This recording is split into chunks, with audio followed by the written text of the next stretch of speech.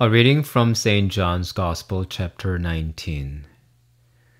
Near the cross of Jesus stood his mother and his mother's sister, Mary, the wife of Clopas, and Mary of Magdala. Seeing her mother and the disciple he loved standing near her, Jesus said to his mother, Woman, this is your son. Then to the disciple he said, This is your mother. And from that moment the disciple made a place for her in his home. After this, Jesus knew that everything had now been completed, and to fulfill the scripture perfectly, he said, I am thirsty. A jar full of vinegar stood there so putting a sponge soaked in the vinegar on a hyssop stick, they held it up to his mouth. After Jesus had taken the vinegar, he said, It is accomplished. And bowing his head, he gave up his spirit. It was preparation day, and to prevent the bodies remaining on the cross during the Sabbath, since that Sabbath was a day of a special solemnity, the Jews asked Pilate to have the legs broken and the bodies taken away. Consequently, the soldiers came and broke the legs of the first man who had been crucified with him, and then of the other. When they came to Jesus, they found he was already dead. And so instead of breaking his legs, one of the soldiers pierced his side with a lance. And immediately there came out blood and water. Today we celebrate the memorial of the Blessed Virgin Mary, Mother of the Church. This title, Mother of the Church, is nothing new to the Catholic faithful. Since the time of the Church Fathers, the Church has been teaching Mary is the mother of all the members of Christ. But this obligatory memorial is designated very recently in 2018. We celebrate this memorial on the Monday after Pentecost.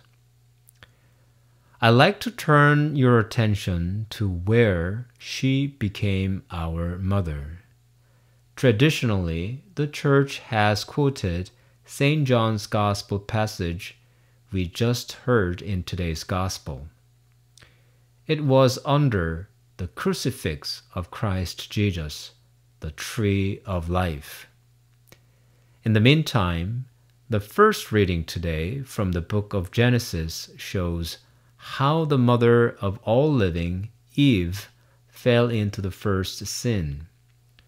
It was also under a tree where this first woman, Eve, the mother of all living, brought death to all living. Isn't that so intriguing?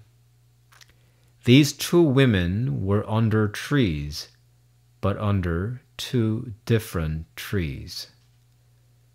One woman was under the tree of knowledge of good and evil, the other was under the tree of the crucifix.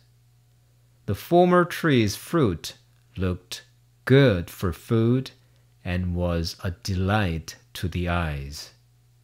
In contrast, the latter tree was deadwood, and its fruit, Christ Jesus, was so painful to look at. But what those two trees brought to the human race were opposite to their appearances. The former tree brought death. The latter tree brought life.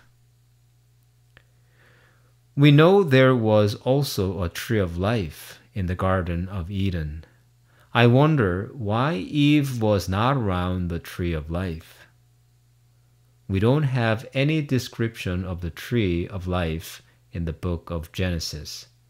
But I believe its fruit was not as attractive as the fruit of the tree of knowledge of good and evil. I believe its fruit rather demanded discipline, obedience, sacrifice, and suffering. It was, I believe, the same tree under which the Blessed Virgin Mary was. The Blessed Virgin lost her only son on the tree of the crucifix. She offered the life of her son on the tree, and watching her son dying, she died too in her spirit. Imagine a mother watching her only child dying in crucifixion, the most shameful and painful death, being naked and suffocated under one's weight. However, under the tree of the crucifix, our Blessed Mother received new children, symbolized by John. She gained all the members of Christ as her children. How fruitful of the deadwood of the cross is! Mary took the most suffering fruit of the tree of the cross. She died with her son under the tree. However, she became more fertile than any other woman. She became the mother of all faithful who are promised of eternal life, not like those children of Eve who had to die.